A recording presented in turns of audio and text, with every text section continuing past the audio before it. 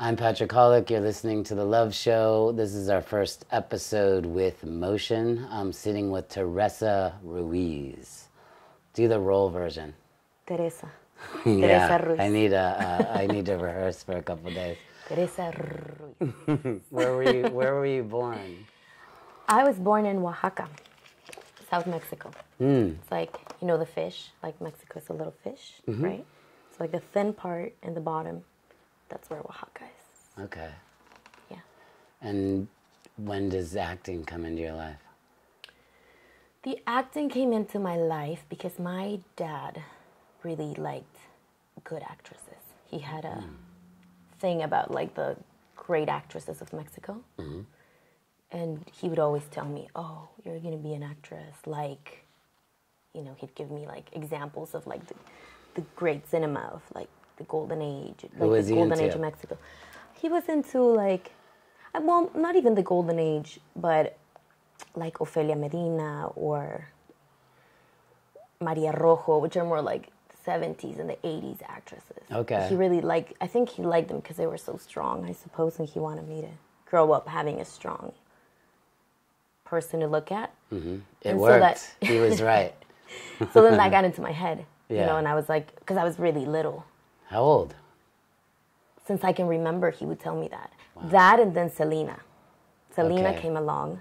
Did he switch over and say, Oh, "I need you to be a pop he star"? loved Selena. No, no, no. He just loved Selena. So we Mm. would watch everything Selena, like her in concert. Like he took me to Corpus Christi because we were living in Mexico. But he made a trip to take me. I was a big fan, but I was little, like six, 7 Mm-hmm. And then when she died, we were together, and it was like my first heartbreak. So you know, like between those two things, he never really thought I'd be a singer Yeah. but he liked like how like good Selena was, I guess. And, Yeah. you know, Just was- magic. He wanted magic from you. yeah, he wanted magic basically. Did you sing or not at all? I used to sing the Selena songs, and I used to, you know, But did you do it like perform? yeah, yeah, Yeah. but little, you know, like family parties and oh, because they they my nickname in my family is Nena, which is like baby. okay. So they'll be like, baby is gonna sing Selena, and then I'll come out. Como la flor. How old were you? Six, seven. Wow. and I have you know like, I they never really did the outfits for me. Mm-hmm. I al- it just whatever we could throw on, but I have like little videos with you know my jeans and like the Hannah shirt, Yeah. and then everybody would clap. So then you learn, oh, if I do this, people We'll applaud. will applaud, and that feels good. You liked the power. yeah, Yeah. and the feeling special. And And then when do you go into I'm gonna do this as a, as opposed to like a kid performing at the house? When do you start thinking like maybe this is something? Ser- maybe I'm serious about this. Because I because my dad was so serious about it. Mm-hmm. My mom wasn't. Like my mom and her family were like, "What? Mm. Like that's crazy." Because there's never been an any kind of artist in our families, so it was very very foreign to them. And my, but my dad comes from. They're all school teachers from my dad's side, but they do poetry. Like you know, popular poetry, or they write poetry. So he had more of an, ah. and they'd sing. You know, the guitar. There was always like a sense of You have a cultural background, like your family was down with your dad. Did my dad, but it was very popular. You know, it wasn't like high poetry. It was just like from the people. And so uh, Would he perform it? he would just sing to me, like he'd, he'd sing to me every day, and my mom would be there listening to the, to the song. So I have a good uh, relationship with the arts because uh, they remind me of a good time, Yeah. of nurturing and being in togetherness. This is all in Oaxaca. This is, I I mean, we moved around a lot. I was in Chiapas, I was in Mexico City, I was in Oaxaca, I was in Juarez, because my dad had a job that we, we would move around. Yeah, but you know, Mm-hmm. How come you speak such good English? Because out in the 70s, my mom's family migrated. Um, you know, they walked from Oaxaca to here, across the desert, did the whole thing. And my aunt, Soledad, who is the woman that I ended up growing up with when I moved here, uh, she was already here. So it was always a thing of like they'd call my parents and They like, always make send, sure that send she- one person and then everyone starts to come yeah. in. Or like just make sure that they have both. Like don't just let them be in Oaxaca. You have to make sure that they learn English. You have to, you know, there was a lot of push from the family. And so I started going to school in El Paso when we were living in Juarez. You know, like they, they'd always find ways for me and my brother to get ahead or have other opportunities. So you start studying in LA in California, or how does it go? I started studying in El Paso, and then I moved to California with my aunt mm-hmm. when my dad decided. Because you know, I'd always say I, I want to be an actress, and I never, I didn't like to wake up early to go to school. Mm-hmm. Like it was, I don't, I don't know, it was just so hard for me. And my dad, it was truly really Is hard. it still hard for you with call times and early? Because you're No. you have a life of early now. Now I have a life of early, Yeah. but before it was like he'd wake me up, and I'd be like. Yeah. And then my dad would let me sleep in and then sleep in, and then he he'd say, "Oh, she's gonna be an actress. She doesn't need to go to school." Wow. You know, it was He had a dad vision. crazy. He had the right vision. Oh yeah, because he, you know why? Because he always, because my dad, um, it's very stable, Mm-hmm. and had given my family a lot of support. So he always felt if it doesn't work out, like everybody says, it's not gonna work out. I'll just take care of her. That's I'll so just- you'll just have opposite a- of like the American family. Yeah. It's always especially, it's yeah. reverse engineered. Yeah, Your dad was cool. he was cool. Yeah. he was also very. He was also very like you have to do it. Right. So you know, Did he want it at some point? Is that why he was like pushing so you would have or No, I think he. Well, he comes from a very poor family. Mm-hmm. They were cotton pickers. Or I mean, my grandfather died when he was really young in a very So in like a be Mexican standoff. He had to be the boss. So he yeah, and he wanted to play soccer, and he was very good. And in Mexico, that's the dream of every boy to play Mm. Soccer. That's like you know, and he didn't he didn't do that because my grandmother, Mm. and he took care of a lot the family. So then when I was born, he felt, you know, this broken dreams, so to say, that I had. She has the opportunity because I can support her. So I kind of like fell in like soft, a soft ground. yeah, where I could fail and it was okay. What age did you say like I'm down to do this, or did you always feel that way? I always felt that way because he encouraged me a lot, mm-hmm. and I was like, "Oh, well, if he says I can do it, then I can do it." Mm-hmm. You know, when somebody repeats in your head something so much, and so when I was maybe 12, 13, I, you know, I was more and more like, I don't like school. What am I doing in school? I want to be an actress. And then he said, okay, then go study for a year uh, to America. And they got me, you know, like the student visa because I was born in Yeah. Mexico. And go study for a year. You'll do, and that way you'll also learn English at an early age. And you, Had you had any English then, or none? yeah, because they gave, I went to like schools that were kind of bilingual. Yeah. Yeah. So um, so then he said, move with- move with your aunt Soledad, and we were living in El Paso, and I remember he put me on a Greyhound bus from El Paso to LA, Wow. and I saw him wave goodbye. And my mom came with me the first year, so it was me and my mom, mm. and that was the last time I lived with him. Wow. I didn't know that. I didn't know that at that. You know, I thought a year, but that was the. What's the? That was the- I don't know the story. like the goodbye, you know, like Uh-huh. I thought I'll go there for a year. My brother and my dad stayed behind. and but you'll I never back. came back. Yeah. I never came back to like Mexico and growing up with them and So you're full LA, yeah. and then where do you start the studying in this routine, getting us to? I, I because we didn't know anything. I came to LA and my aunt was like, "What are you doing here? What are you talking about being an actress? You're crazy." You know, because they they try to protect you, right? Right. So um, so then she said, "You're gonna go to high school. That's what you came here for." So they sent me to high school, and but I didn't have a car. My mom didn't know how to move around LA, so I looked in the yellow pages for acting schools, and I found like 5 And because you know, my dad was very proud. He was like, "Well, if you don't know, then look in the yellow pages. Right. You know, call people. Just find Yeah. your way." Yeah. and uh, and I looked, and then I went to, you know, I was starting to go out to a few acting schools, and the, there was one that no longer exists like that. It was an Italian conservatory, and the people there really, I really liked them, mm-hmm. but they only had adult classes, so they saw me, and I was very enthusiastic, so they put me with the adults. Oh, that's a good step. Yeah, and so Yeah. the and because I my you know that's I think that's interesting because my English wasn't that good. Mm.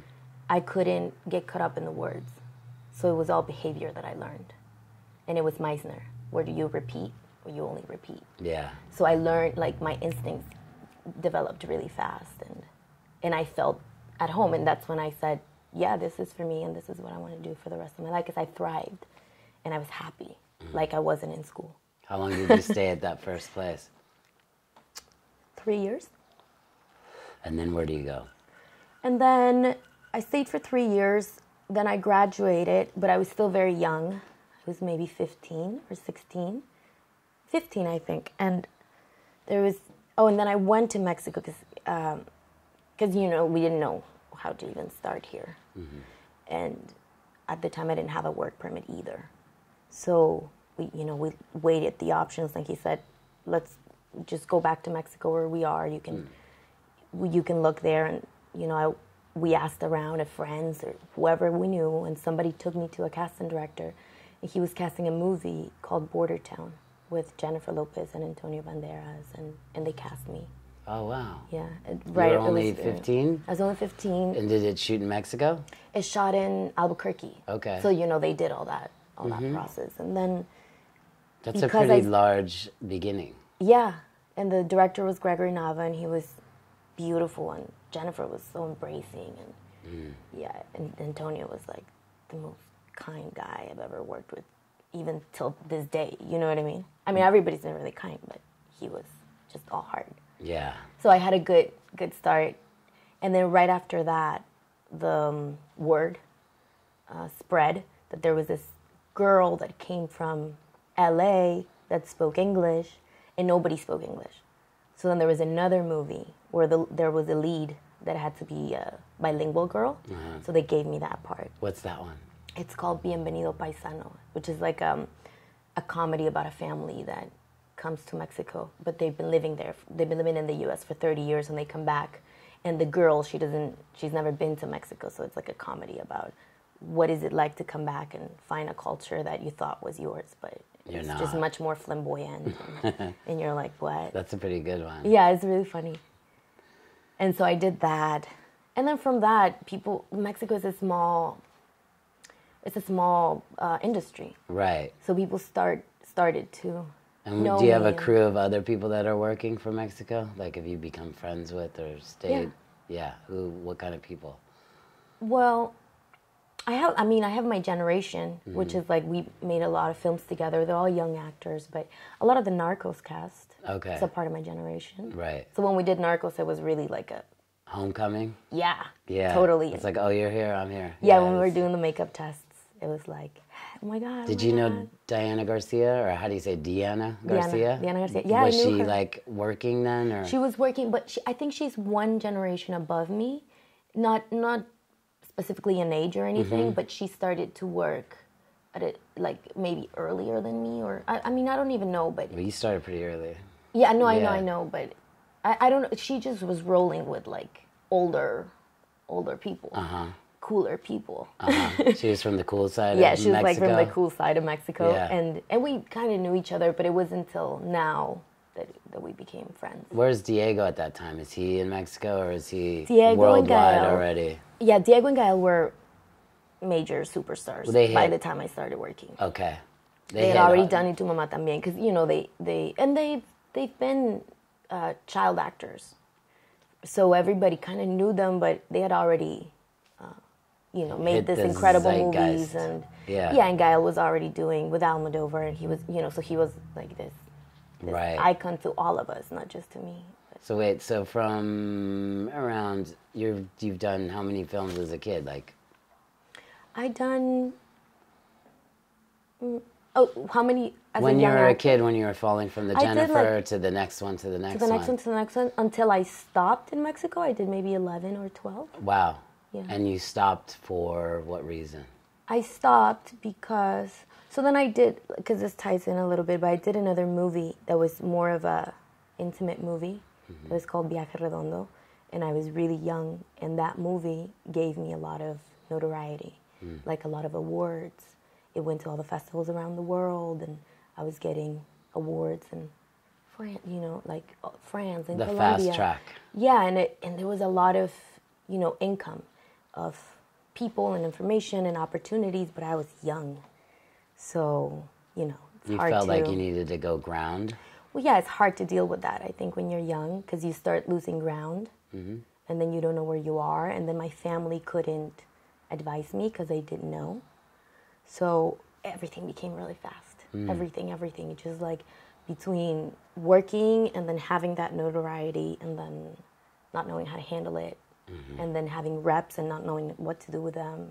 You know, and I, w- I was young. I was like 19, 18. Wow. So from there, my my work started to get bad. In the sense that you weren't prep preparing, or No, I, I were, was preparing, but I was getting oh, it was oh, the same. the roles. The roles were the same too, but also I was not. It's like you hit a block, like you hit a roof, like like a creative roof, in both the parts that you're offered and the way you're working. I see. Because the education that I got was a good education, but it's nothing like what I learned Hmm. after. Your training had led you to a certain like it's like Yeah, an it's like instrument, hit- and you can only yeah. play a song, Right. And you get tired of playing the same song for Yeah. yourself. Yeah, and then you just play it the same way. I see. You know, you kind of follow the same course. And you like were calling yourself like you were doing this to yourself though. It sounds like you were Yeah. the one deciding to Yeah, like I, I just kind of felt like in every role, I just felt like it just wasn't, and I just knew, I sensed there was more to my artistry than Your what range. I was using. Mm-hmm. Yeah. So then you pull over. So then I was like, And where are you then? You're in Mexico? in Mexico. Okay. I was in Mexico. There was a lot of things happening. I was working, and then I said, "No, I have to go back. I, I can't. I can't continue a life like I just, you know, the roof was right here, and I just couldn't." Yeah. And and I came here, and I'd heard of the Actors Studio from, you know, from watching the Inside the Actors Studio, from reading Al Pacino's book, who I'm a big fan of. And I Where did it start? Actor Studio starts in New York, starts The in Actors LA. Studio starts in New York in the 50s. Okay. Yeah, uh, founded by it. It became when the group theater in the 30s um, ended. A few of the members formed the Actors Studio. Okay. Elia, Elia Kazan and Lee Strasberg and Harold Clurman. They they started this this Okay. place, and you know everybody was there, and Yeah. Like Marlon Brando. Everybody. and yeah. everybody was auditioning, and it was incredibly hard I got to get in. excited. You know, I didn't get to go there until like three or four years ago. And, you and. Danny brought me. Yeah, that was where we met. Yeah. And he's like, "Do you want to watch Martin Landau teach a class?" And Mm-hmm. I'm a huge Martin Landau fan. I've been liking his work since I was a kid. And it was just like, wow, this is the real. Because I did some studying for directing, but never on this. Uh, it's like a, it's a big difference. You Right? know? Right, that's what- yeah, that's these what people I are mean. diehard in there, and you Yeah. start. And when you walk in there, this is Los Angeles. You start. Is it in the Yeah. same place I met you at? Yeah. Okay, so you start there and you uh, just feel like you begin again. Tell me about that. Tell me about pulling over off of all the crazy stuff. Yeah, so then- I I hit the brakes and I went to the actor's studio. No, I first went to my teacher from the first school told me I've hired a teacher from the actor's studio. I know you've always been interested. So if you're going to be in LA, why don't you take her class? So I went and I took this class, which was a method which I'd never done. It was like sensory work, really deep work. And I went in and, you know, it was like, it was crazy. And, Yeah. and she went and told Martin Landau uh, the very next day, she said, I, I have this girl in my class, and she's, you know, her, she's like, right? And, and Marty said, oh, and, and she said, you should take a look at her. And Marty came, which is not usual at all. But I guess the way she spoke about me, he came, he saw me do a scene. You know, I didn't even meet him, he just kind of, and then they sent me a letter of invitation to audition. They said, Okay. we'd like you to audition so they skipped me because it's usually a process where you have to start from preliminar to preliminar to preliminar and it's like it could be a year or two of auditions. Got it. and i went straight to the, the judges the final judges. And was he in the room? he was in the room. Um, lou antonio was in the room. It was like a scary I bet. you know mark rydell was in the room barry primus. You know, like but you, but you don't see it. It was like 15 older you know like og's of acting like in darkness. and I did the scene, and they took me in the, the first day. And Did you perform on that stage in that mm-hmm. room? yeah, you do Yeah. a five minute audition, Yeah. and I did it, and and they took me in, and then Marty took me in as my mentor. He like embraced he's- me and taught me He's like from what I saw the day I went, which isn't a lot. He's tough. he is tough, but I don't know, maybe because There was I a was woman. young, but- there was an older woman that did a mind-bending scene, and I watched her, and it was like a eight-minute scene, and she she finishes, and he's just like sitting there, and he's like quiet, and he goes, "What was your choice when you entered the room?" Like he just pulled the bottom out of the whole Right? shit, That's and I was like watching, going compelled. You know, the woman did her job, but he had something. He was able to see something I couldn't even see. yeah, because But that's why I say tough because my only recollection was that moment where you were No, like, it's tough. It's you were like, that was the best shit in the world, and he was like, no. I So, know. yeah. Yeah, I came in and he he just like you know Did he ever work with the groups? Did he ever get on like I have to go do something, I'm gonna work? Or does that does he Oh, do no. that somewhere else? No, no, no. Or he doesn't do that process at all. he never worked on stage because he was the moderator and the artistic director. Okay. He never worked because he felt that it would take away from when he moderated, and his um, his main focus at the time was the growth of the actors working at the studio. Wow. Yeah, and we started to develop a play that he really liked. So through that process, he taught me. He, um, yeah, I think it was mainly like I had this, you know, it was like a ball of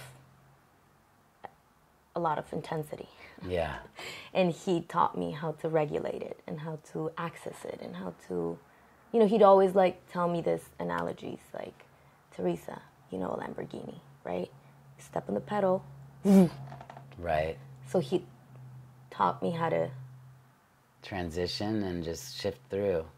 yeah and how to access places i'd never accessed pretty much handle the instrument that i i was given with all its intensities and all its uh, places that i didn't know about. And most of all i feel like what the actors studio gives you is a lot of trust in yourself as a talented being. You know because they don't judge talent as in skill. They judge talent as a high sensitivity Okay. that you can learn how to how to handle and how to take here or there th- with all the other elements you know and the and the um, the passion and the die hard like you said love for acting is so high at the actors studio that that's not even a question you know whoever is there it's like you know they're there. yeah There's no question of that. yeah. So they don't they don't push a lot of the other things that other schools. This is not a school; it's more like a lab. It's a like life. theater It's a lab, lifestyle. it's a Yeah. lifestyle. Yeah. There's people in there that don't give a shit about ever going up and like they do like right there's not like a lot of that like i just got to get to my audition it's more like i want to do Yeah. some extreme work it seems Yeah, and I want to grow as an artist, and I want to, and I think it's also about furthering the pr- the craft of acting. Mm. You know, because as you develop, then the other, because Marty first Marty taught me to to work hmm. on myself, to to do it right, and then once he felt I had enough understanding, then he started pushing me to speak to others about how I work because he used to say it's also about you being able to express what you do so that it could so that you can have an understanding and help others further. is So it almost a like community? if you have it you have to give it away to keep Yeah. it Yeah, I Yeah. mean, I think he, he felt that he had you had to give it away in that community because that's the only way the tradition would be kept. Mm-hmm. And the, that's actually the last conversation I had with him was that he um, before he passed. I did he know or he had no idea no, he had no idea, but Yeah. but but he he had lived an incredible life, and he- Yeah. he, knew that. You know what I mean? He knew how incredible her li- his life had been, and then at the, the last of his years, he spent them just giving to us. did he know his work was so good or did he have that thing that everyone has where they really have no perspective of how much their He work knew. is good he knew he was He knew. great He knew he had it in him. He knew because he knew he did the work. You know what I mean? And he he believed that if you did the work, there was no way that truth wasn't gonna come out. Mm. He had that conviction, Mm-hmm. and he always used to say like his biggest thing. He he used to always tell me and everybody, Teresa, if you know how to swim, you're not gonna drown. That was his big thing, you know. And because sometimes you get in the stage and you're you know and you don't realize, oh, oh, How long did you work together? five years, Wow. yeah. Five Hmm. And years. this, how long were you uh, self-appointedly stopped till you start going back up for a film or when you go back out? Well, um, When you felt like I got this, I'm gonna go back. well, Gael was because Gael had, is, has been one of my biggest uh, references Okay. for an, for an artist for my country. You Okay. know, I, I've adored his work always. Yeah. And I got to meet him meet him in a few situations. He was always very kind to me. I So- met him at Sundance randomly. He was really nice. Yeah, he's really yeah. Yeah. And uh, and he was developing a show. Um, and this is I've been at the studio for like four or five years, and all my friends were writing me, my agent, everybody was saying you are crazy. Everybody's forgotten about you. You're not gonna be able to work again. Nobody's gonna, you know. It's like when an artist leaves for so many years. It's Yeah. like oh they're gone forever. Right. But I just I just couldn't leave the studio. It was so much was happening to me. Yeah. And so Gael was developing this show, and he had met me before. and He knew of, of my work, and they they offered me a part, and that was like the the moment where I knew that, okay, it's time now. And, and I went and I told Marty. That was the last time I saw him. The last time I spoke to him, and I said, Marty, um, they're offering me this this part in the show, and with a with a crew of people that I admire immensely, because it was like some of the best directors of Mexico. It's a really high quality project. So it was like, you know, in a way, like this huge gift. And and I said, and, and Marty said, yeah, don't come back. I was like, what? What do you mean? Don't come back? He was like, go, go, because now you have to go out there And and you have to learn by exercise it. doing, and then you have to teach it. Ah. And he told me, you, if one of the reasons why I put so much effort in you is because out of all the people that are here, you're the one who could speak this in Spanish. Mm. You're the one who could take it to Mexico or to Latin America in Spanish. Mm. And that was our last exchange. Wow. Yeah. And then maybe a month and a half later, he passed. But you know, and then I remember I walked, I walked down and I, I, I just felt like, a, you know, when you feel that you're not going to see that person again. You had that feeling. Yeah, and I thought, oh, I'm crazy. I'm just being sentimental. Yeah. sentimental. Yeah. And I turned around to go hug him, and he went, go now. And I was like, "Ugh." Uh, and I left, and that was the last time I saw him. Wow. And did you go off and do this show, or did Yeah, you? Yeah, I went off and do that show. Okay. Yeah, and I was doing that show when Danny called me. Okay. Danny called Danny Minnick. He called me crying, Marty, Marty. Oh wow. Yeah, How long did you do this show? I did that. Sh- we shot for about four months. Okay. Yeah, it's like an uh, eight episode show, and it was incredible. Like a group of artists that really, I was just so. It was such a great gift to come back to such a high quality work, and then after that, I went into Narcos. Okay. So I've I've really just been working since since you Yeah. know it's been like three years that I've been Have you gone Back back, the to world. the uh, to the Playhouse? Uh, Do you ever do exercise or say Oh, yeah. hi, or how does that work? Yeah, I mean, I went back. Uh, you know, I don't know. I think I'm still my. I don't know. I, I, I since Marty died, I haven't really gone back. I've gone back to watch, but it's been hard for me to go and It's work. so much association. I, I guess, Yeah. but I've never thought about it consciously. I just think, oh, I'm working. I'm so busy. I have to study this. I have to study that. I don't have time. But I'm sure there's something of like, Marty's not here. Yeah.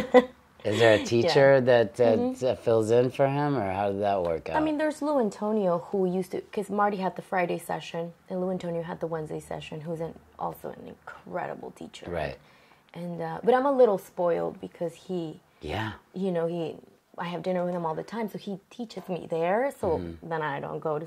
Yeah, and you also came at this very vulnerable, raw place, and you worked on your skills. Yeah. You know, so you can't take that away. Yeah. So what's it like being back in the mix? Like what's Being that like? in the mix? Because now it's it's probably bigger or as big as your biggest moment, or is it bigger? It's bigger. It's It's, much bigger, but Yeah. it doesn't feel as big because I've grown. Yeah, Yeah, and then also, um, you know how to swim. uh, yeah, You're not gonna drown. yeah. Oh, sometimes I feel like drowning, Mm-hmm. but I remember. You have to go through all that stuff anyway, right? yeah, The but I also at the studio I met Greta Seacat and Sandra Seacat. Okay. Some of the most. Yeah, I've heard of Sandra Seacat for a long time. I've never Sandra met her. Mickey. A lot of people. I mean, a lot of people. Yeah. I love Mickey. Is she New York or LA? Uh, She is both. They're She's bi-coastal. both. Yeah. So they they they took me in too. Okay. I've, I've just been like, wait, what is this like rain Because of he might gifts? be good. I don't know. Maybe it's something to do with that. or it just You don't just fall into these things. I don't think. or I think it a might, lot of people might just would. be willing. Yeah, I don't Because I know. feel I, think it's more than not that. willing, you know? I think it's like sometimes like just an observer. You watch people work, and some people have something that's above and beyond craft and ability. I don't know. I think I don't think you could. I don't know. I have this issue. I don't think it could be. I think it's there's some sort of genetic spark. But yes, you have to shape, work it, do this all this Yeah, stuff. I just feel to. like there's something in the DNA of somebody that I watch and can take me on. You know. Yeah, I That mean that, that's that's good also when things get rough. Yeah. It, but if you have a vocation, which I believe is what I have or what I was born with, Mm-hmm. then you can you can wait for it to get better because you know You took a big shot with that waiting thing. Like that's gnarly. You're not allowed to wait. I know. You know, and that then, and then like, in this current culture, it's like if it was posted at noon on Instagram at five o'clock, it never happened. You know? what I mean? Exactly. yeah, and my friends, oh my God, they write Teresa, you are crazy. yeah. And my manager, my manager who also waited for me all those years and never You left. still have the same team. I still have the same Wow. team, and they waited six years for me to be studying at the actor's studio. They're like she's studying. So Yeah. how does he Nar- would call me? He'll be like, "You can learn and study at the same time, Sure. And you work at the same time." I'll be Yeah. like, "No, I can't." Yeah. How did Narcos come about? How does that go down? From the show that I did with Gael, Okay. uh, the one of the producers was going into doing Narcos. Okay. and he, you know, a lot of the people who were at the Gael show ended up at Narcos because everybody knew now they were going to do Mexico, and uh, you know, we we all sent tapes, and but there was a there was also a lot of support. Like these are the actors from Mexico that are doing great things. so Got that also always helps to transition to another. Did you have a relationship with Diego, or was that new? Mm-hmm. No, I met him. I met him on set. I met him that day. So he was on Gael's show, or he was, He was going to direct one of epi- one of Gael's episodes. Gael. Gael. uh huh. One of the because they they both produced, so he was gonna Gael directed. Are they at the same company? Mm-hmm. I don't know their history. I just knew that like you know they came, they blew up, and they took over. And it seemed like Diego uh, was on some sort of sabbatical. Like he wasn't, or or Gael was doing so well and so much that you're like, where's the other dude? You know, this is the American Yeah, yeah, yeah. ignorant portrayal of them. It's like, where's the other dude? He's like really good looking, like, and then you saw him in like a Prada ad, and you're like, but the other one's doing something all the time, and then it wasn't the case. Then all of a sudden, Diego's in fucking Star Wars. Do you know what I mean? so you're yes, like, yes. I don't But that's get how it. this business work, don't you think? Yeah. Yeah, I it's like Matt Damon and uh, Ben Affleck. Do you know what I mean? Yeah. And like, but there's there those two are much more neck and neck. Uh, with Matt and Ben, it's like Matt just got on a spaceship somewhere in life and made a very harnessed decision, and the other one kind of went to Jenny on the Block. But then he came back as a director, and blew our minds once again. And then like now you don't know the writing's not clear, but Matt just keeps da da da da. You know what I mean? He's an anomaly. It's like the simplest white dude you've ever seen in your life ruling the world. But he also has that thing that you're talking about that you just can't stop looking at him. You know, yeah, like you were interested. yeah. But I think there's something like he's got that Hanks that like he's Hollywood royalty. He doesn't stop. Right? There's a certain place, and then he breaks through those places. You know, it's like one of the highest paid guys on earth. It's weird. But um, back to those two. Um, so Diego, you just met for the first time on set, or you had met through the culture in the Mexico and the. I mean, we'd seen each other a couple of times, Mm-hmm. but you know, hi, that's it. Uh, and then when I did Narcos, I met him the first day we shot, and he was very. He's a very warm person. Like you immediately connect with him, Yeah. And because he's very generous, very open. So we became good friends, and we had a great uh, collaboration. Which sometimes, because I was coming from that huge sabbatical, I didn't know. Well, you had at least gotten the- that the- good the show off before you went right to Yeah. Narcos, right? You got Yeah. warmed up. yeah, I was I was warm, but I I hadn't you know like now I'm more I could collaborate more without fear, and before you I didn't know where the line was, in terms of everything you learn at the actors studio and what you can actually bring into a set, Yeah. because then the set is not just collaboration, but everything is so fast and there's so many other artists and their visions, and then t- in TV you have the creators, you have the writers. And you so it's it's not like the studio where this is your piece this is what you bring in you know? So i didn't that that line i learned in the first season and diego uh, helped me a lot a lot uh, with that you know because sometimes I'd come in and he'll be like what do you think about this scene you know and there was a lot of back and forth and in that, in that sense i learned a lot from him it was really good to How many him. episodes did you do? i did uh, in the first season Yeah. i did seven And the new season is and the new season is coming out i can't say how many you can't. Oh yeah, I I don't want to get in trouble here. Um, What was it like the first season? What was the experience like? the first well like i said because i was with diego all the time Mm-hmm. and not just diego but there was this director that i was in love with his work he was like ah. his name is amat escalante and i always love his films but he's an auteur he usually works with not with actors but with people that he sees I see. and it was like a dream of mine to work with him so he hadn't been in television. he had never been in television, just an auteur filmmaker that his films would go around the world, and I was just in love with his work. And he came to direct two episodes. Wow. And to my surprise, he was the most kind, generous, open, humble guy, you know. And so there was a lot of collaboration with him too. And, and we, because he's also his feminine side is very developed. Mm-hmm. So he he helped so much with my character to shape it, and so I had those two two guys Yeah, to support like good support, support me group. and and yeah, because I I did came into Narcos, you know, a little bit. Like, Sure. ooh, ooh, ooh, It's a big show. yeah. And is it hard? Is it like grueling hours, or do they keep it pretty human, or is it? Because it looks like it's hard. It's hard. Yeah. You know it what looks like a grind. Yeah, what is hard is to make those, like to do those scenes, to be in those scenes. Yeah. Especially for for us Mexicans, because we grew up with that. So to go in and and do a scene where somebody's getting shot, and a lot of the times they use like the real cops or they'll use real military. So it starts feeling. it feels really real, and like your psyche doesn't know. So When you're in that, like, how long does it take you to bounce? Say, you know, you guys cut and you go back to your rooms, or you go back to a photo shoot, or you're somewhere. How long does it take it to like stop lingering, or do you can you turn it on and off like a switch? Not me. I can't. I can't really. But Yeah. uh, but I've gotten to the point where uh, it doesn't affect my life or it doesn't destroy my life, Mm-hmm. which I feel like a lot of artists it could begin to destroy their lives. Mm-hmm. But it, with me, it's like I it's there. It's there in the background, but I can function. And then sometimes I'll be like, oh, that narco slipped in this dynamic.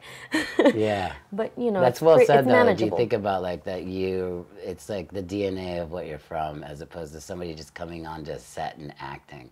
It's a big Mm-hmm. difference for you guys. Yeah. You like know the streets, know the locations, right? You Yeah. know the culture and the and you have memories attached to people and attached to things that Mm. like when i lived in juarez uh, that's a border town and there was a lot of drug vi- violence there and a, a few of my friends got abducted i lived very close to a place they called the las narcofosas where they dug up a lot of bodies and those were things that i saw as i was 10 11 years old or 9 so they're in my psyche so sometimes we'd shoot a scene and i'd see the same thing and it was like the atmosphere just grabs you you know Yeah. it's like It's so surreal that you like Mm-hmm. you see it this way and then you see it back with the camera crew and like people walking around with water bottles.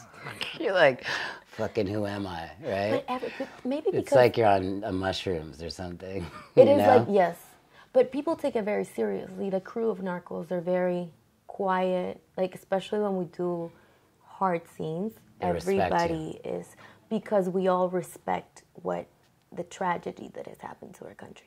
everybody, every person, you know, and we all know that what we're doing is is for that to bring light to that. So every person have like a from bunch actors of uh, to the agents and managers going, okay, we got a mean, bunch of yeah. desensitized people walking around.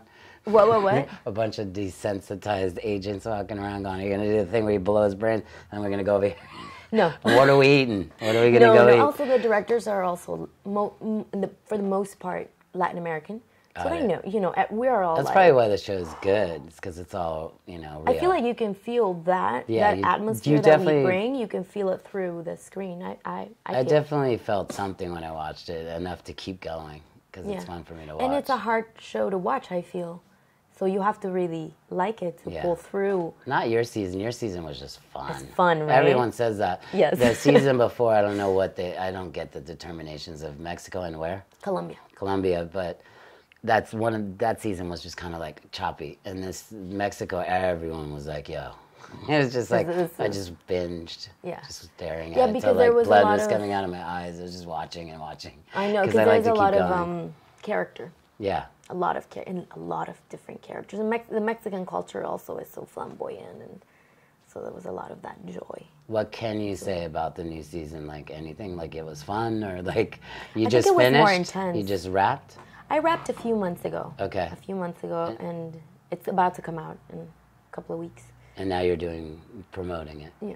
Now I'm doing press for it, which is fun because then you get to talk about it with a little bit of distance. I mean, it's not fun, but it's uh, interesting too. It's a different. What do you want to do now? After you do all your promotions, are you going to take a break? Are you going to rest, or are you just No, going to go? I took a five-year break. I'm done with breaks. So you're just going to go into something? Do you have stuff that you you're excited about, or I did a movie that I'm pretty excited about. Right after I did Narcos, I went on to do that movie called The Minutemen with Okay. Liam Neeson. oh, cool. Another incredible. It's Yeah. like it's like I, You're- I get to work with all people. incredible. You know, I've never. You know how sometimes actors will be like, "Oh, I work with this person. I really admire. He's an asshole." Yeah, That's never happened to me. you're lucky. Yeah, Very it's lucky. coming. It's coming. You're so busy. It's coming. Yeah, yeah, yeah, yeah. But no, like Liam was the most gen, and and he, you know, like sometimes you would think an actor of that. Sure, we'll just be a little bit distance from you guys Yeah. and be like, "I'll be in my trailer." What the fuck are they yeah. doing? No, he was so respectful. He came to me, spoke to me about what he had seen in my work. Incredibly respectful, and I was like, oh my god, what a beautiful man, you know. Any big plans for 2020? Um, I don't know yet. Big plans is like professionally. Anything? Anything? I'm wrapping it up. I'm Wrapping about to up. shoot you. I want to take pictures of you. Okay. Um, I'll just, I'm just gonna keep going. I just shut you this down. Is, no, this is to me like it's an incredible wave that I'm writing, Mm-hmm. and I just want to keep on it. You will. The work is there. it's fun, and, I'm, and and right now, you know what it is. Also, everybody around me, my team, my people, my teachers, my friends are incredible.